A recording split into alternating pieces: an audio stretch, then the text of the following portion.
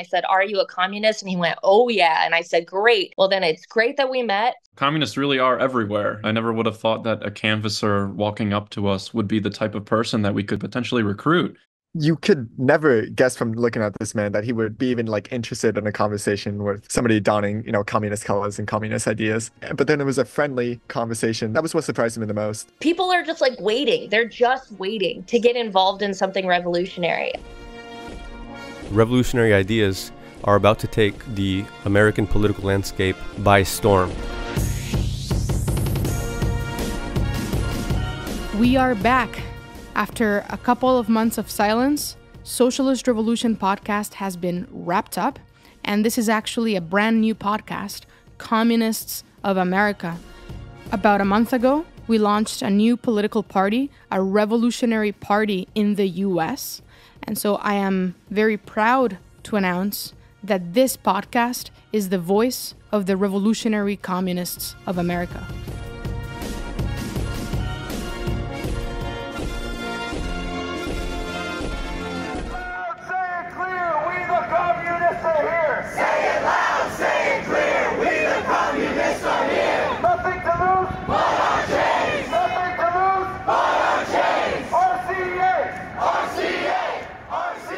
This is the sound of the Communist March that we organized in downtown Brooklyn, New York on February 25th, right after the launch meeting where we announced the new party of the Revolutionary Communists of America, the RCA.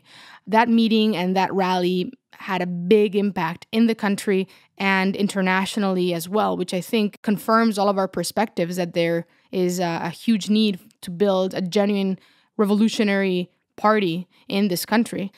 We received over a thousand requests to join the party, and I think we've tapped into something very powerful, into the force that's going to allow us to overthrow capitalism in this country. So, Comrade Bryce introduced the launch meeting on February 25th. We called this meeting because the current political situation constitutes a political emergency. And we've turned it into a Northeastern communist rally here in New York. We also have people watching this meeting across the country. So we had hundreds and hundreds of communists gathered in dozens of cities around the country, uh, from LA to Seattle to Dallas to Chicago to Atlanta to Boston, really uh, all over the place. We even have a comrade from New York who's currently working on a cruise ship, and he's also tuning into this meeting. So this really is a coast to coast meeting of communists across the country. So with that, to introduce the rally, I'm going to bring on Antonio Balmer from the executive committee here in New York. And Antonio is here with us today. So, what is the Revolutionary Communists of America? When we talk about the Revolutionary Communists of America, first and foremost, we're talking about a generation, millions of people that have gone through an experience of sharp capitalist decline that have been raised in that kind of uh, environment who hate capitalism and they've come to communist ideas. It's a huge segment of the population. But RCA is also the party that's going to organize that generation to take action. It's also the organized wing of that population that is trying to gather everyone else together and build a party that can actually carry out a revolution and overthrow capitalism in our lifetime.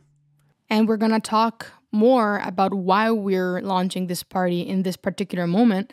But just to go back quickly to the impact of the meeting, which, as I said, we announced the launch of the party and immediately we get a massive response, is a confirmation of what Antonio just said, which is that there's tens of thousands, hundreds of thousands, probably millions of people there's out there. Definitely millions. It's definitely millions of people out there who who identify with communism and who see it favorably and they want to know all right, what's next? I mean, what do we do about it? But yeah, like you said, I mean, we got 200 million views across the platforms on Twitter, on X, and on it was actually picked up by some state media in other countries. Yeah, we got hundreds of millions of views. Um, we actually were the second most popular video on Baidu, which is uh, the the top search uh, engine in China. Um, so we really made an impact, um, and also, of course, the right wing picked it up and they shared it again for their own purposes to scaremonger and oh wow the communists are a danger to american values and blah blah blah.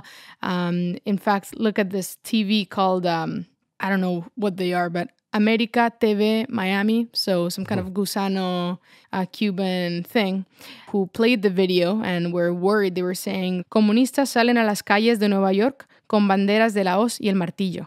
So communists uh, pour into the streets of New York uh, with uh, hammer and sickle flags. Son de hoy en Brooklyn, New York. Los comunistas salieron a las calles, salieron del closet de forma multitudinaria. Eh, escuchamos ahí lo que gritan, ¿ven? Dicen que la única solución es la revolución. So they're actually, they were saying just now, they are hitting the streets unmasked in view of everyone coming out of the closet in a massive way. And I think that's actually the impact of the video. I think that's the reason it went viral is because if you look at the video, I mean, it is quite striking to see a sea of red flags on the streets of the largest American city. And, you know, it's like, we are here. We're not hiding. We're communists. This is our, we're openly declaring our intention. I mean, that's the spirit of the RCA. That's what we're here to do. Um, we're not hiding our intentions. That's right. Uh, and uh, right wingers like Jordan Peterson retweeted it, which only helped us. Again, all these uh, right wing trolls start piling on, and it helps. It feeds the algorithm, uh, and it really helped to get like a bump of submissions of people asking to join, donating to us, and so forth. And these right wingers, I mean, some of them like Jordan Peterson, they're they're a joke. They you know they're they're just like uh, you know clowns.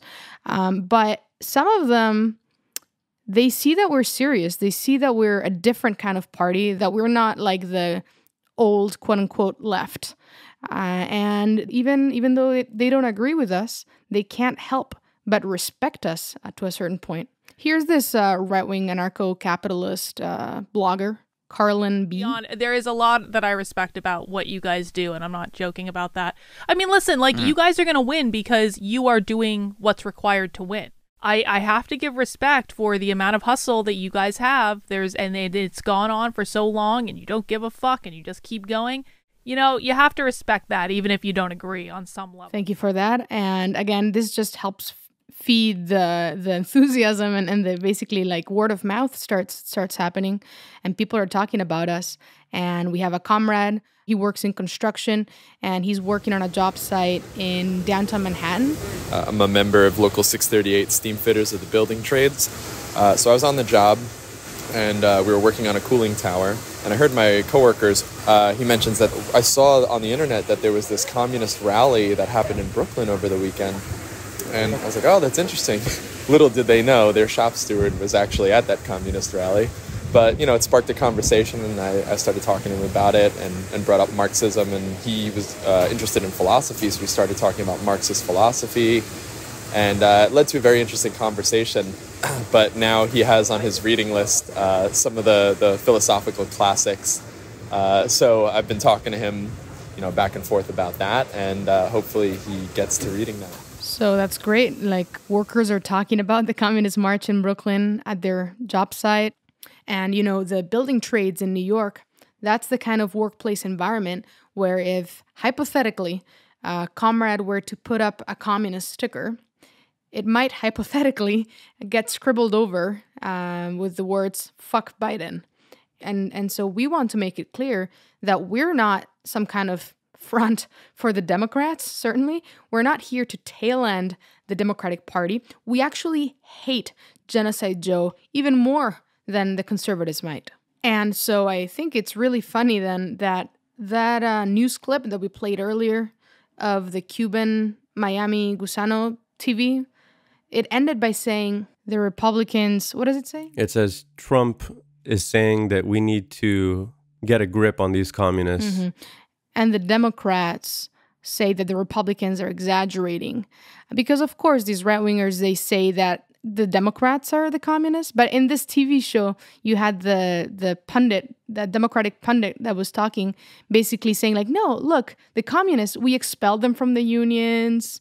Uh, we, you know, scapegoated them. We, so don't worry. Like, so he had to like defend the honor of the Democratic Party capitalists. So I think it part of the reason why this had a big impact. It is something that the United States of America hasn't seen in generations. And this is a new thing. This is not a political party like others. We're not here to support the Democratic Party or the Republican Party. We're not building a party that's going to tinker around with capitalism, trying to lobby politicians and try to pass laws. We're here to bring the whole system down, to get rid of these capitalist politicians, of these corrupt parties. And this comes at a time when all of 2% of the US population has a great deal of confidence in Congress uh, as of September 2023.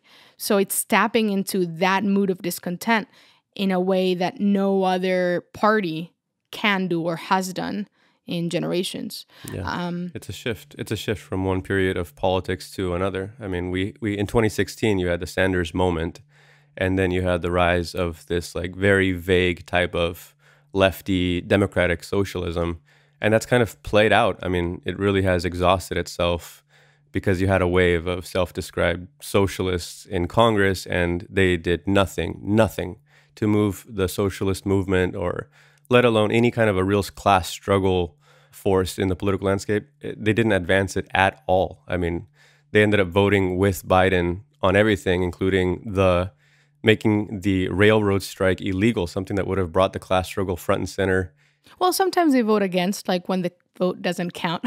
I think Sanders voted again in the Senate, but they didn't need that vote, right? So you've had symbolic acts of resistance and like the meekest rhetoric that you can imagine. But in reality, I mean, AOC and these others, they said, we're going to go in there and we're going to fight for you.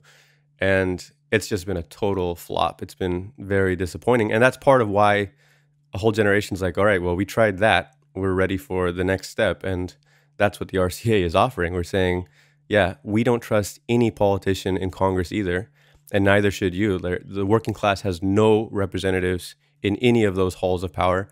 And people don't actually need to be told this. They already understand. They don't trust any of the institutions, the Supreme Court, the media, everything. It's just, it's all a, a sick joke, you know, in the eyes of millions of people. So all we're doing is saying out loud, kind of, we're giving words to a sentiment that's already extremely widespread. That's right. And we make it very clear where we stand. You made it very clear at uh, our party launch meeting. We all arrived in the ranks of this international because we aspire to be participants in the overthrow of capitalism in our lifetime, comrades.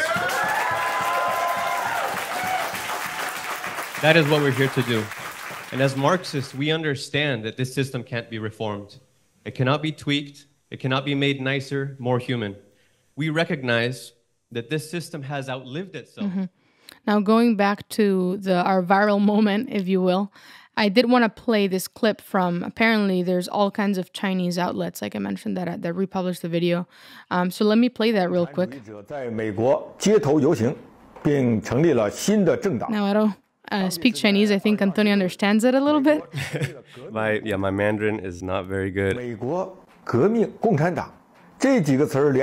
But I do, yeah, I could pick up a little. He was saying, America, revolution, communism. Hearing these words together, he was expressing his surprise at, yeah, the launch of the RCA. But I mean, I would tell this person, hey, don't be surprised. it's actually been a long time coming. So and I think it's clear that, you know, you have like the Chinese state or the Russian state, you know, they see this and they're like, America is being undermined from within. Look at these communists, you know, and of course we are, I mean, we should make very clear we're part of the Revolutionary Communist International. We are for a revolution in every country on the face of this planet. We are going to overthrow capitalism everywhere, including in China, in Russia. You know, I mean, that's they the, these state media sources should be aware that uh, we are not like their allies on the ground. We are the allies of the workers of the world.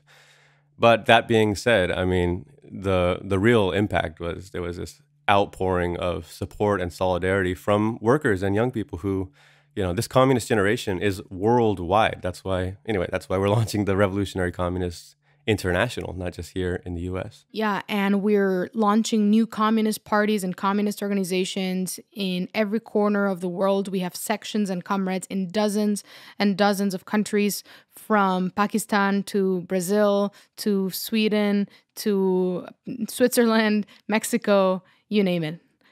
I want to move on to talking about why we're launching the party. I mean, we've talked about this a little bit already, uh, but what is it about the world that has created this generation, and why are we launching it now? Well, this generation emerged from an entire process that you could say it's it's been 50 years coming. Actually, I mean, the end of the post-war boom was uh, a pretty abrupt change in capitalism's uh, health as a system the decline really took a sharp downward turn since the early 70s. And by every social measure since, I mean, we've compiled a bunch of graphs showing the metrics. And it's when visually, when you're looking at 50 years of capitalist decline, it becomes very apparent. The, share of the economy going to American workers' wages has been in a free fall for 50 years. The rate of household savings has been falling for 50 years uh, household debt has been increasing, and basically we've arrived at a working class that is largely living hand to mouth. How many years it takes to buy a house? I mean, that's been going up and up and up since the 1970s. And the rise in military spending, the fact that that's gone way up since the 1970s, uh, increase in civil wars and the duration of those wars worldwide, the refugee crisis. I mean, especially now, not just because of wars, but also because of climate change just millions and millions of people desperately seeking to survive.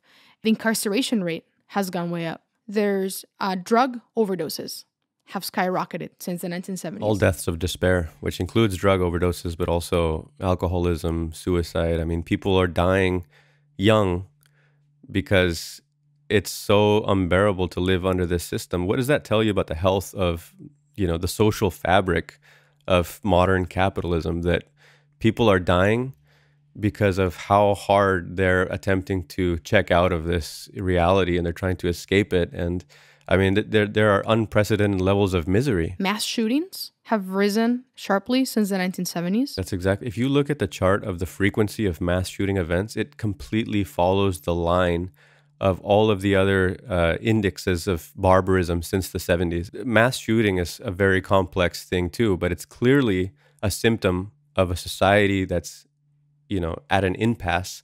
And when you're raised in a you know in, in, they said the, the soviet union has collapsed this is the end of history capitalism won and now we're going to have a period of peace and prosperity.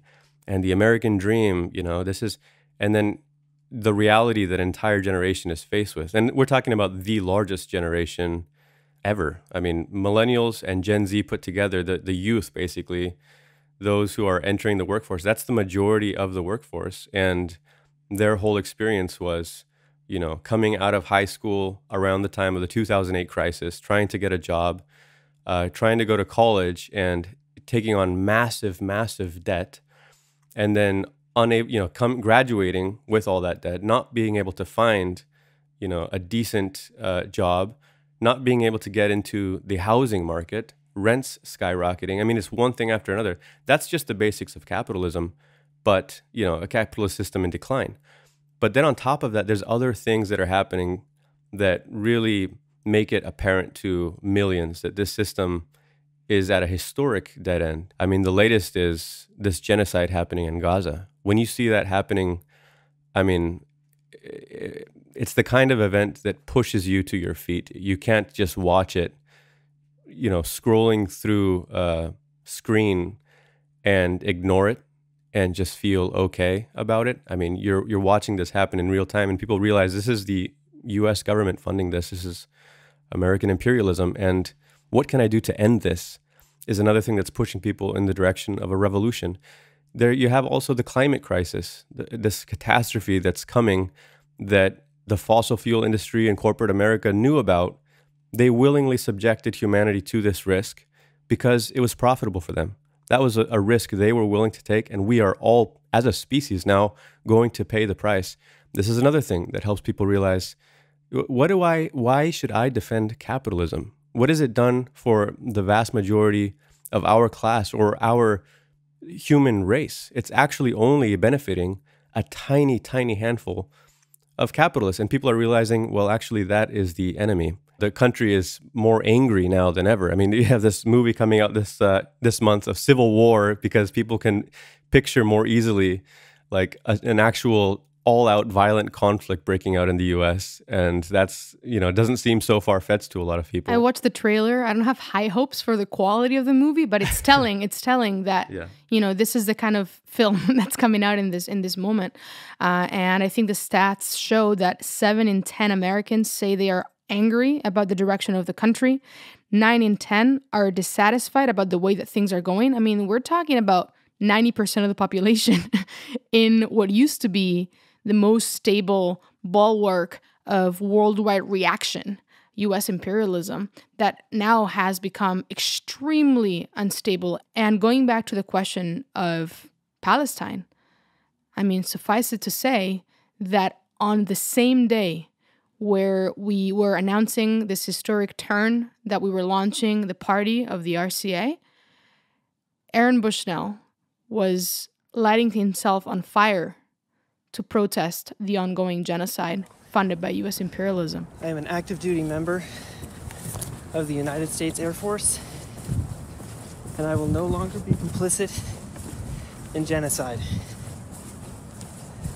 I'm about to engage in an extreme act of protest, but compared to what people have been experiencing in Palestine at the hands of their colonizers, it's not extreme at all. This is what our ruling class has decided will be normal. when you have extreme levels of injustice taking place, it pushes people in a way that it pushes people toward a revolution and it pushes people to look for an alternative, sometimes very desperately. And the impact of Aaron Bushnell's act of sacrifice on millions of people was a powerful one because there are millions who understand that sentiment of what can we do? You know, we've been having march after march and protest after protest. Is the US government backing off? No. Actually, the latest now is that Biden is sending 50 warplanes, the largest uh, weapons shipment to Israel yet, you know, since October.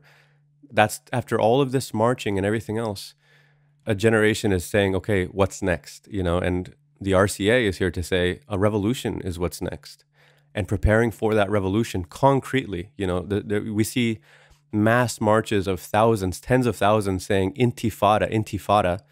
That's exactly the way forward. Let's prepare the intifada concretely. What, what was an intifada if not a mass, uh, not just a, a mass spontaneous upsurge, it was mass working class organizing. It was workers talking to each other, coming together, making decisions, carrying them out. It was workers seizing control of society. We need to be preparing the communist cells in every American industry, in every workplace, every trade union, to bring a revolutionary program into the class struggle. That's the immediate task of the revolutionary communists of America. And I think we have arrived at a point where an entire generation understands that instinctively. They're saying, How do we do it? And that's what the RCA is here to answer. hmm And a, polls show that for the first time now, earlier this month, a majority of Americans disapprove of Israeli military actions in Gaza. It's gone down from 50% approval rating, which is already pretty small, to 36%. Um, so that's pretty historic. And I think this is kind of like a, a Vietnam War type moment where millions of people can see the evil and they want to act against it, even though there aren't even American troops being sent on the ground. So you can actually also see the basis for US imperialism right now is very weak. They're walking on thin ice. That's right. Everyone can see the role that the American ruling class has played in this, and Biden in particular. I mean, this has really demolished the whole logic of lesser evilism. Think back to 2020 when every single media outlet, every single platform, all the ruling institutions were hammering on the same note. And what was their message?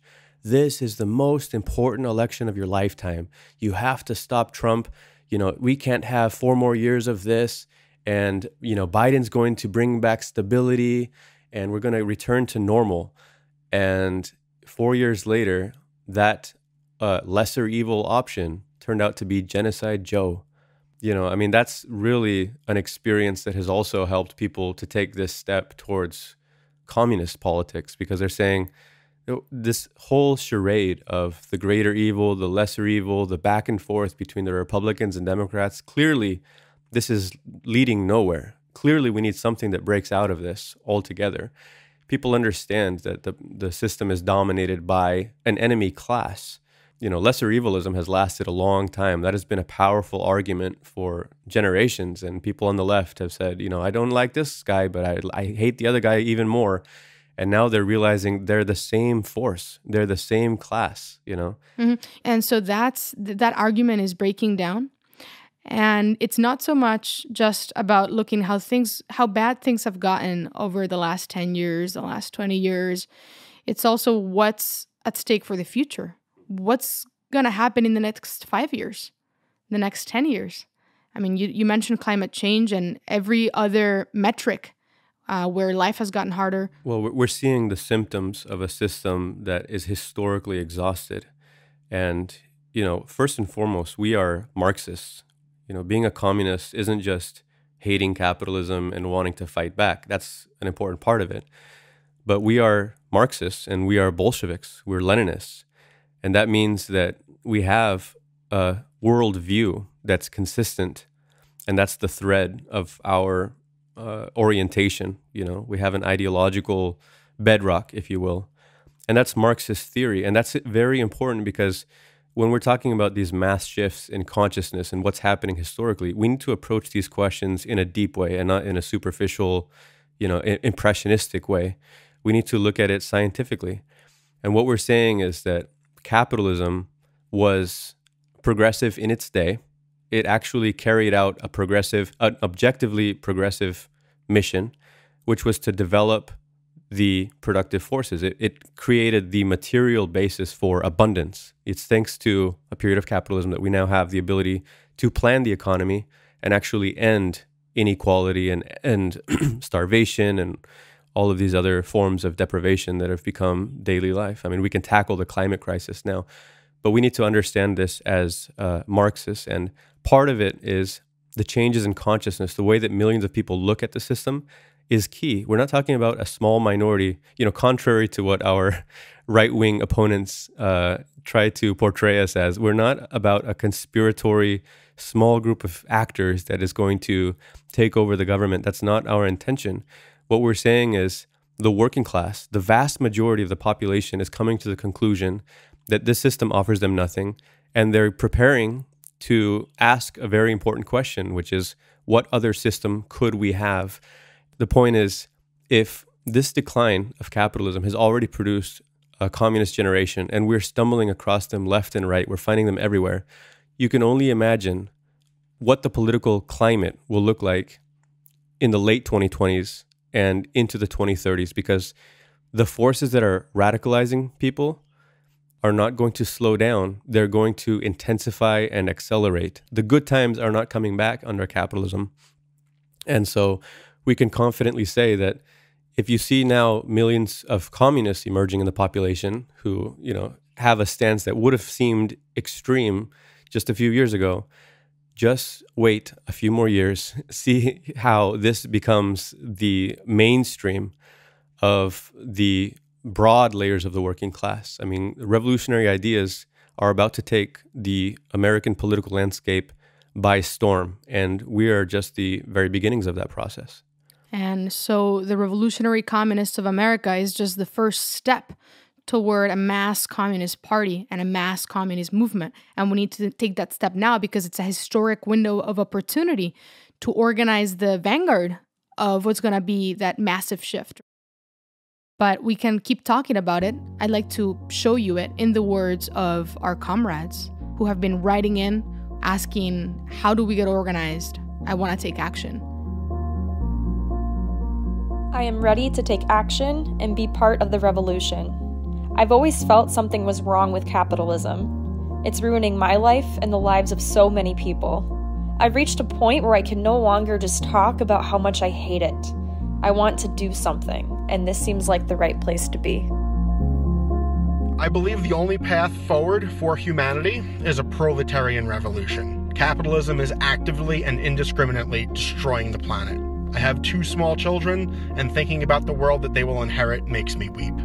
I want to be part of the solution to the sickness that grips the world, as I recognize no one can save us except for ourselves. The world is burning, and the people burning it have names and addresses and more money than most third world countries can even dream of.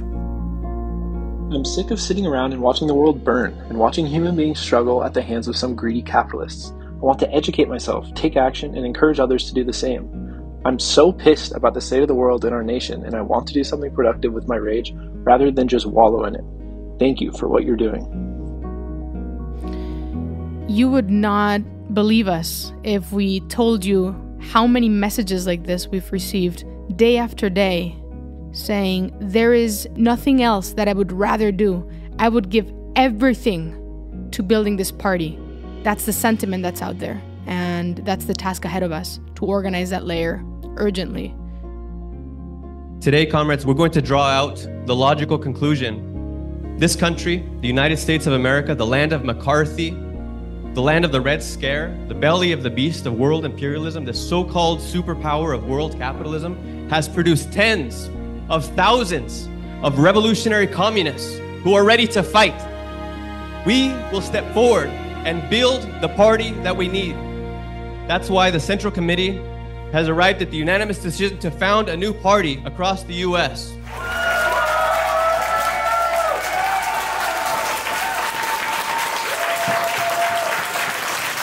A genuine communist party of fighters in the spirit of Bolshevik Leninism.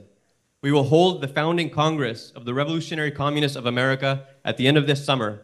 A party for those tens of thousands who are already out there, who are waiting for this party to be founded, who are ready to step in. I mean, we are starting something that no living person has ever witnessed in the US, and that is the largest, most energetic, boldest communist recruitment campaign since World War II. And then once we reach that, I mean, with the first, if we gather the first 10,000 communists, our next task is to prepare an even broader layer, the largest recruitment campaign in American history. I mean, that's really right in front of us. It's not a far off prospect, it's something that is an immediate task.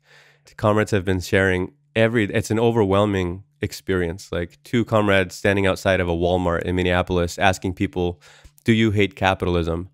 And six out of 10 of them are saying, Yes, I hate capitalism. And these are working class shoppers coming in and out of a Walmart. And more of them say they want a revolution than not. I mean, if that's happening at one Walmart in one city, well, it's not just happening there. I mean, we can tell you every corner of the country is reporting the same sentiment, the same reception to our message. And it's making us realize the only thing holding us back is the limits of our boldness. I mean, we need to be visible. We need to get out there. We need to connect with this. Here's a comrade in Chicago who was sitting just reading in the train. And just like that, she's recruiting a new communist. It was so funny. I got on the train uh, out of school with this guy, and there was something about him. I think I am developing a communist radar of some sort because I I saw him before I got on. Uh, but you know, I was just like, oh, whatever, and sat on the train. And I've been reading um, "In Defense of Lenin," which is phenomenal. I'm only like six or seven chapters in, but highly recommend uh, comrades pick it up. So I'm reading the book, and right before I'm about to get off on the stop before, I take my headphones out to put them away, and I feel this gentleman looking at me, and I look up, and he goes, um, "Is that a good book?" And I went, "Oh yeah, it's really good." And he said, Well, I might have to pick up a copy. And um, I was like, If you're willing to talk to a stranger about Lenin on the train, then like I have to recruit you. he said, You know, I had a lot of misgivings about Lenin and um, something to that effect. I was getting so excited that like his exact words were in and out, but something to the effect of he had a lot of misgivings about Lenin. And I said, Me too. Um, I'm in the RCA. And before I joined this group, um, I had kind of, you know, just learned about him almost as a dictator or, um, yeah, up there with Stalin. He was like, Yeah, same and just turns out we are we get off at the same train stop together and um, I said, Well, you know, I'm with the Revolutionary Communists of America.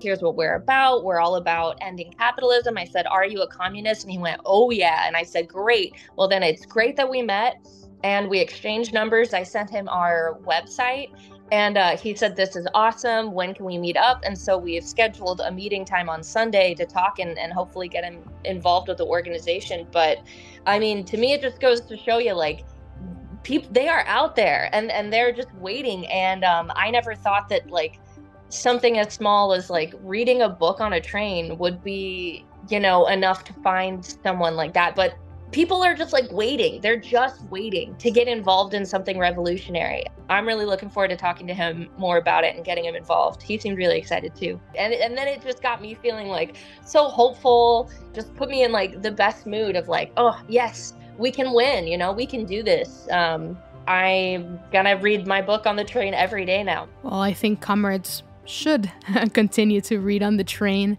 and show your communist newspaper your communist books proudly. Wear your communist t-shirts because it can be that easy. Now here's another anecdote from philadelphia. Comrades were just sitting around at a, at a park. So yeah actually it was me ethan and comrade brandon. Um, we all kind of just met impromptu to discuss in the park. We really weren't planning on necessarily like going out there and like talking to people and like agitating or anything in that in that moment, but we were we were just kind of sitting in the park already talking about communism and this guy kind of walks up to us who is like canvassing. He's you know he's got the clipboard and he, he's asking people, you know, are getting getting them registered to vote, you know, um, you know, asking them like, are you registered in the state of Pennsylvania? You know, it doesn't matter like what party you registered for, et cetera, et cetera. And then he asked us, he said, Are you guys registered to vote? And we all kind of like looked at each other. yeah. Yeah, we all kind of looked at each other. We were like, How do we, what are we going to say? Like, we were a little hesitant Mm-hmm. at first to even engage with him. But I think it was Brandon who said, like, um, what did Brandon say? He said, We're communists. Yeah, Brandon was Yeah, like, We're straight up. communists. He's like, Yeah, we're not really like interested in electoral politics. And the guy was like, Oh, I know how that goes, or something like that. hmm And so I said, like, well, are you a communist? Like, are you interested in in like socialism? And he was like, yeah, I mean, I'm something. He said something like, I'm something of a communist, or like, I definitely like agree with the ideas. And so we started talking to him. Yeah, that's how the conversation started. Um, and I think this really goes to show that, you know, communists really are everywhere. You know, I, I never would have thought that a canvasser walking up to us would be the type of person that we could potentially have a good conversation with or even potentially recruit.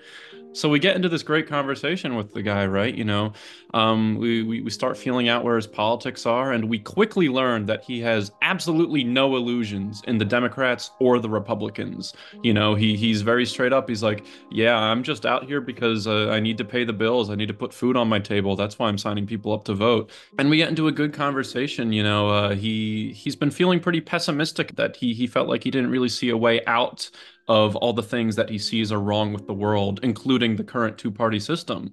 Um, and that's where we start talking to him. We start talking to him about Black Lives Matter. And, you know, we ask him straight up, like, imagine the potential that an uprising of millions of Americans on the street across the country could have had if it had a genuine revolutionary working class leadership.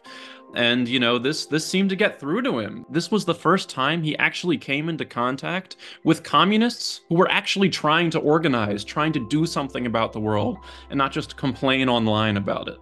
Yeah, we actually sold him a paper. He bought the paper, um, and we also helped him reach his quota. We registered to vote under, I think, the Revolutionary Communists of America, um, officially. So that was pretty cool. But That's great. I think that was a protest uh, registration. now, it's important to note, too, that we're trying to find and recruit and organize all of those who are already communists, but it's not just those people that we can reach right now. There's millions more who might not know what communism is, might think that they hate communism because of, you know, all the red scare propaganda. But when we talk to them, they like what we have to say. They like the communist program. That's why uh, we need to be, you know, organized in branches, reading, analyzing the news, uh, studying theory, because communism is not just an identity. It's not just about wearing the hammer and sickle and shouting communism. It's actually about bringing answers to the burning problems, the burning questions that people have. And that's what our comrades in Columbia, Missouri did when they encountered someone who they did not expect necessarily to be interested in communism. We were out tabling, recruitment tabling outside uh, the local Columbia Farmers Market, simply asking with a standard slogan to passersby, are you a communist? And if they said yes, obviously, uh, worked on getting them organized right on the spot.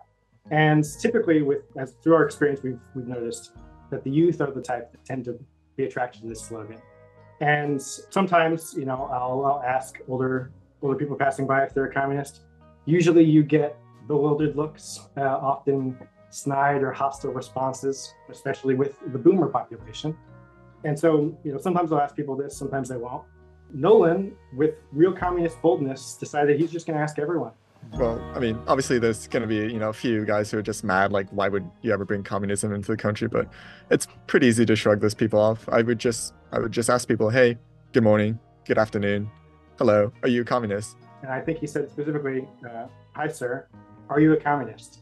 And this man turns around and like exclaims, kind of like touches himself, bewildered, that someone would ask that a man wearing like an old army jacket, big bold letters, army across the front. And as he gets closer, I see he's got a little cross pin with a flag in the lapel. And my first read is this guy has got to be a Trump supporter. He did not have a hat, though uh, he did have a, a classic uh, boomer mustache. He looked like he was in his 60s or 70s the stereotype of what you would expect a Trumper to be. Yeah, I wasn't afraid to like ask anybody that I encountered if they were communists. And you know, just routine. I asked this guy, which led to this interaction. He stopped me and he, I think he said, "Do I look like a Trump supporter?" and then I think I just got a little bit flabbergasted. I, I didn't really know how to respond. But eventually he just starts uh, talking more. I, I believe he asked about our cause, and then that's when I invited Sam over to speak. We, we started talking about the paper the mm-hmm. latest issue of, of Socialist Revolution at the time has a big picture of Joe Biden's face and says in bold letters, down with Genocide Joe. And I think he introduced himself as Randy. He asked us if that meant we supported Trump. And of course, we clarified no, of course, we don't support Trump. We want to overthrow the whole rotten system, Biden and Trump included. And that seemed to get some sympathy from him, had some back and forth. And he, at the time, decided, oh, I'm just going to keep going into the farmer's market probably 20 or 30 minutes later, he comes back out the same way and sees us. And he wanted to talk more. Uh, and he immediately said, as a veteran, he wasn't in favor of violence whatsoever. He was very much a pacifist and uh, did not like armed conflict in general. But the first thing that came to his mind when he started talking about Joe Biden was Genocide Joe, was what is happening in Gaza with the funding and direct support of American imperialism. And what he tells us is, you know, he says he's no fan of violence, but he would love to see Netanyahu strung up by his feet for what he's doing in Gaza. He seemed to like our ideas, and he ended up donating the cost of the paper and probably left with a, a good impression. You could never guess from looking at this man that he would how be even like interested in a conversation with somebody donning, you know, communist colors and communist ideas. First of all, the fact that he turned around that was surprising enough. But then being engaged in conversation, that was also surprising. But then it was a friendly conversation. That that was what surprised me the most. That I, I would not assume that of him. But even if he were to pass it off, just the idea of like, wow, these are these bold young communists asking these questions, spreading their word. That's intriguing. I think that's one of the big strengths of Audacity, and that's something we should continue to practice. By the way, earlier this year, we did not have a branch in Columbia. And just like that, one comrade moved there and he started a branch, and now we have eight comrades organized, going strong, and growing. So if you're listening to this and you're wondering if we already have branches in the city where you're from, first of all, chances are yes. But even if we didn't, then we can give you the tools that you need to get started, to start your first communist cell, to organize in your workplace, your neighborhood. We want to plant the flag.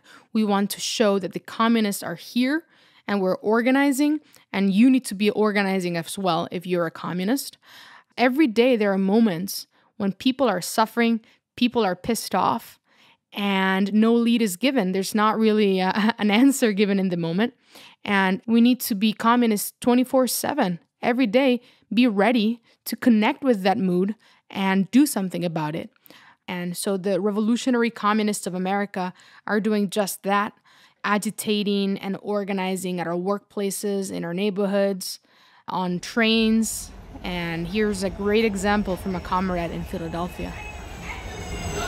I was coming back home from demonstration organized by Drexel resident assistants and I was gonna take the train. It was 5 p.m. on a Thursday evening. A lot of workers also trying to get home after their eight hour long shifts. And, you know, as I waited for the train, which took like 40 minutes, a train finally started to arrive. But it never stopped. And then another one, and another one, and a fourth one. And, you know, after 40 minutes on the platform, there were like 100 people at least, like a crowd at that point. And I was kind of idling, listening to a podcast, and it clicked to me that, you know, people are probably pissed because all they want right now is just to get home and probably take a nap after being exploited for the whole day. So I saw the opportunity of being, you know, the communist at this at this particular moment. So I took it. And I luckily had all the leaflets with me from the demonstration. So yeah, I seized the opportunity and I started walking across the platform with no cuts to SEPTA leaflet in my hand. I had 30 copies. And I was screaming, hey, who is tired of shady public service? They're cutting off $200 million from SEPTA's budget. And I was asking, you know, who wants to change this as workers, collectively? We have the ideas necessary. And, you know, I had a few conversations as well. And I was exclaim- exclaiming that, you know, no budget improvement or any genuine reform will come from above just because. It will have to be, you know, working class struggling together for those reforms, demonstrating, striking. This is the only way reforms have ever been won, and this is the only way we can win those reforms. And you know, during those conversations, I tried to point out that ultimately it's the capitalist system that leads to the shitty system, and we need not just to struggle for better living conditions, not for not just for better public service, but also you know for the end of capitalism and the end of the day, because this is the root cause of all these evils. And the reaction was profound. People, you know, came to me asking for the leaflet, grabbing it out of my hand, and all of my leaflets were being pretty much gone immediately. So I just continued to stroll around handing out other leaflets about Palestine, about the arena they're trying to build in Chinatown right now, and destroying the neighborhood in the process. So you can see our comrade skillfully starts to agitate about why the anger they're feeling right now is a problem of capitalism and how communists have a solution to that immediate problem, but also connecting that to the need for mass working class action and to ultimately get rid of capitalism altogether. And he keeps going. And eventually the train finally came. So I got onto the train, and of course it was packed. So inside the train, I continued to agitate. You know, despite multiple people being pressed against me in the packed wagon, I continued to say like, "Hey, who is enjoying themselves right now? Who is having fun right now? Who thinks this is normal? Who thinks this should continue happening? Who wants to fight this? You know, who wants to organize as workers to fight this horrible system?" And I also connected, you know, the fact that they're cutting off 200 million from SEPTA's budget to the fact that they're sending billions of our taxpayer dollars to Israel to commit the genocide that it's committing right now. And this really, you know, vibrated in the room. People were looking at me, people were, were nodding, and I started handing out leaflets. And, you know, I was pretty much packed in, in the train, so I couldn't see much besides, you know, the faces immediately surrounding me. But between those people, hands started popping out and waiting for a leaflet. so all of my leaflets were gone immediately again the rest of them on all other kinds of topics and i saw you know someone who started reading the leaflet the leaflet that was in their hand got snatched. So, yeah, I had conversations with the people immediately surrounding me. Some of them didn't know what communism is, but you know, as I explained it more, they were completely on the same point with me. They were they agreed that we need to organize together as workers. They agreed that you know this system is not reformable. We need a revolution, and this just goes to show you know the mood in society, the great potential for us to find class fighters and organize them right now for giant upheavals and unrest, protests, strikes. This is already starting to happen, and it's only going to increase in quantity and quality. To heed this comrade's advice, our comrades in Dallas took the initiative. They noticed that they, we didn't yet have a presence at the University of Dallas. And so they just went ahead and sent a few comrades in to start a communist cell. And they got an overwhelmingly positive response. My name is Ben. I'm our area press officer for DFW. My name is Mary. Um, I'm the DFW3 secretary. It was our first time um, on the UTD campus. I knew that like the people, like the you know we as the communists, we are here. Uh, we're there. That there are other communists at UTD. Like no doubt there are. Um, and we gave a number of agitational speeches and we we ultimately like we turned a lot of heads. We had really good discussions um, afterwards. When this university truck pulled up, we were like, "Well, that's it, man! Wow, this was really short lived on Dallas. Like, it's over already." Um, and he gets out and he has the huge, like the biggest smile on his face, and we. He, he's, he he comes to us and he says, "Finally, you're here." And we're like, "Oh, hang on." Um, he bought, I think, just under thirty dollars worth of books and papers. Um, and now he's he's a member in our in our first branch in Dallas. Uh, yeah, he's he's really excited to to be a part of our party. He's going to be the press officer for that branch. So that's exciting. There was an older gentleman that like had ran up to the table. Like he he I guess like caught it in the corner of his eye, turned and like whipped his head and like ran straight to the table. Um, you know, he signed up. You can tell like looking at the the contact sheet, like looking at how he wrote, it's like he was just in a rush. And his like he left a comment that just said finally, like just finally. And I think that's sort of the clear message that that this first day uh, brought to us is it's you know finally that you were on campus and we couldn't agree more. For press sales that day, it totaled to just over sixty dollars at sixty one dollars, and then for contacts, uh, we got twenty two contacts that day, with another two following an Instagram post that we made. So we went from nothing at that university to now we have a communist cell. And by the way, the comrades were not just tabling and talking to people like that. They were agitating.